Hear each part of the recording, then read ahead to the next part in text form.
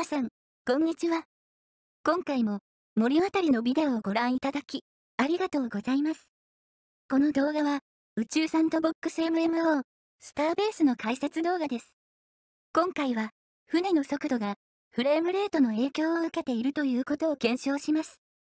つまり、パソコンスペックなどの影響でフレームレートが低いと、船の速度も下がるし、シュラスターを満載した船でも、毎秒150メートルに達しないということです。そして、逆に、高フレームレートだと、毎秒150メートルを超えるということです。そんなはずがないですか？長距離探検や海賊対策を考えると他人事ではないでしょう。まず、軽く、検証しましょう。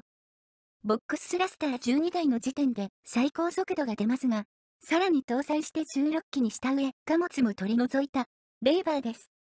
速度は限界に達しており、ステーショントランスポンダの表示設定が、毎秒150メートルでも、ステーションの名前が表示されます。しかし、フレームレートを30に制限すると、ステーションの表示が消えます。よく聞くと、速度変化の効果音も出ています。つまり、フレームレートが低下すると、同じ船でも遅くなっていることを示唆しています。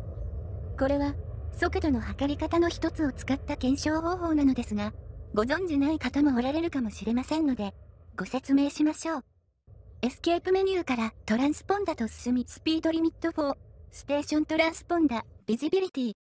これは、この速度に達していないとき、ステーション名の表示を消すというものです。無改造のレイバーは、毎秒60メートル程度ですので、150などに設定すると、ステーションの表示が消えます。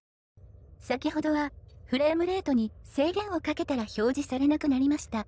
したがって、速度が150以下になったということです。フルスロットルでなくとも変化しますので、最高速度ではなく、すべての速度において、フレームレートの影響を受けていることになります。そうは言っても、表示が悪影響を受けているだけで、速度は変わっていない可能性も考えられますよね。このやり方では、仮に影響を受けているとしても、どの程度なのか、精度よく検証できません。では、もっと手間のかかる検証を行いましょう。これが、今回のメインです。速度自体を測るよりも、精度よく距離が分かっている2点間。それも、できるだけ、長距離を一定速度で飛んで、そのタイムを測った方が正確です。マーケットプレイスに飛びました。目の前の離陸場は、端末が近い上に、邪魔な天井がないので便利です。でも、今回は、その足元の裏側、こちらの離陸場に向かいます。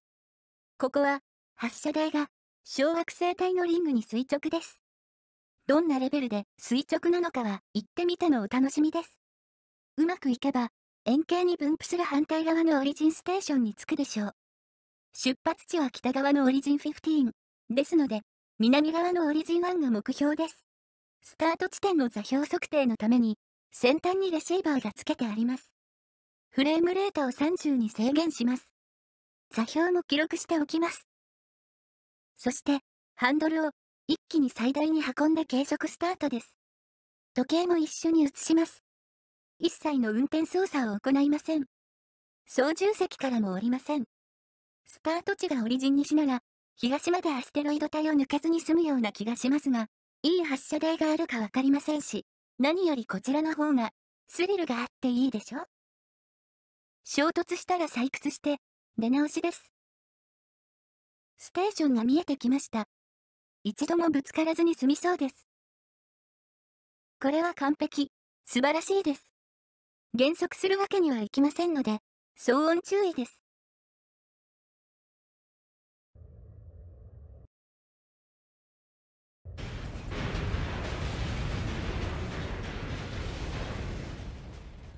タイムは13分50秒30でした。では、この位置を正確に測ります。携帯型 i3 モジュールを作りまして。i3 は、航行中の精度は低いですが、停戦すれば、1精度がプラスマイナス1メートルです。出ました。3次元の2点間の距離です。計算して、オリジン15のあの発射台と、この屋根の距離は、11万9911メートルです。およそ 120km です。先ほどのタイムが13分50秒30なので割りますと、毎秒144.4メートルです。というわけで、実際に毎秒150メートル以下になっており、ステーショントランスポンダが表示されなくなるのも正常であるという結果になりました。では、オリジン15に戻りましょう。船の形状を変えなければ、完全に同じ位置にスポーンします。したがって、愛さんのレシーバーの取り付け位置を変えなければ、全く同じ座標が表示されます。今度は、フレームレート60で向かいます。これくらいのフレームレートでプレイしている方は、多いかもしれません。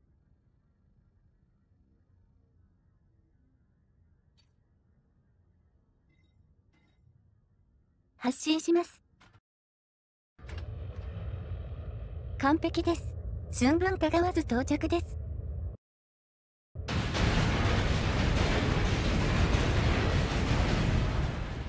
タイムは13分30秒80でした。11万9911メートルから割り算すると、毎秒147.9メートルです。次は、フレームレート100で向かいます。普段は120くらいでプレイしていますが、肝心なのは安定していることですので、これを最後とします。発信します。